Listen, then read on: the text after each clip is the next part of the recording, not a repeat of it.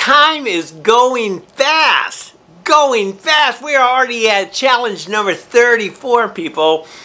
34. That's awesome. So let's get the infamous Todd show started right now by question number one. Where would you find Peter Jennings each night? Where would you find him? On ABC National News. What item did Nancy Sinatra want to wear when she sang about it in her hit song?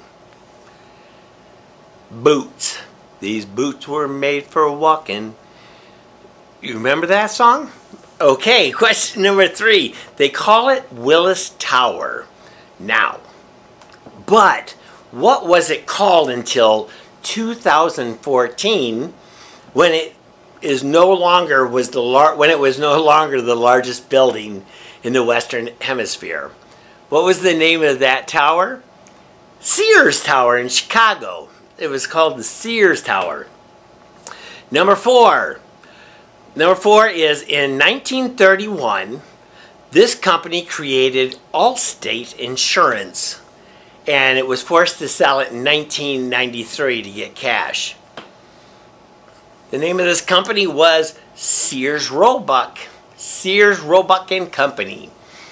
Speaking of Sears, Sears, IBM, and CBS created the first consumer online service.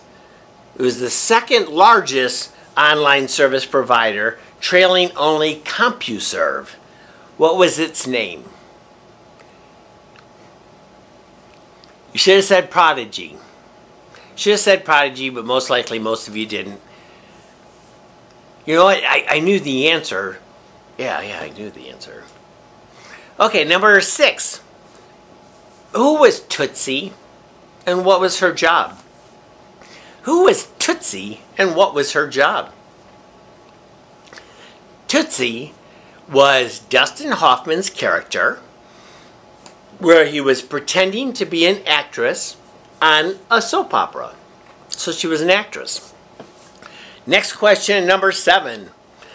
Who created the Rainbow Coalition? The Rainbow Coalition. No, it wasn't. No, it wasn't Kermit.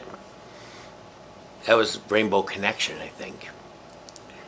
The Rainbow Coalition was started by Jesse Jackson. Jesse Jackson. See, a whole bunch of the gay people are watching this go, what? What? I thought we owned that name.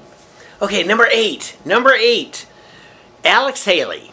Alex Haley wrote this popular book. This is the first time I'm ever going to give you three hints. One, when they made it into mini, a mini series, it received 37 prime time Emmy Award nominations. Number two, it won a Golden Globe and a Peabody Award.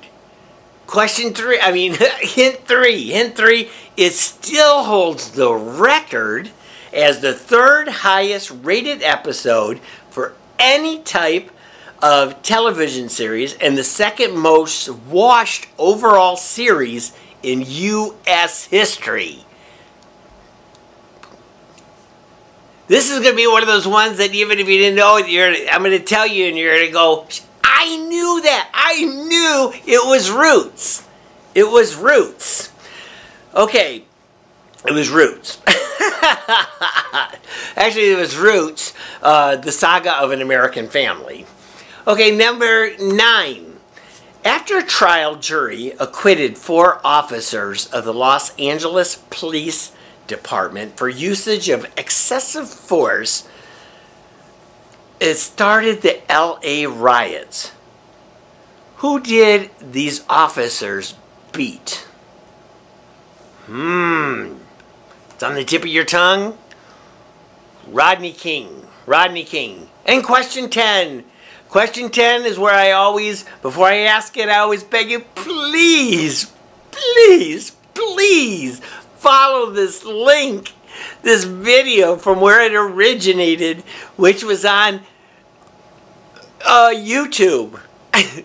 Hardly any of you guys are doing that. I have thousands and thousands of you guys now watching this across all social platforms, but hardly anybody is showing YouTube that there's that you're watching this show.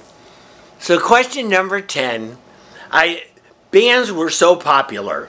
Which group included Graham Chapman, John Cleeseman, Terry Gilliam, Eric Idle, Terry Jones, and Michael Palin.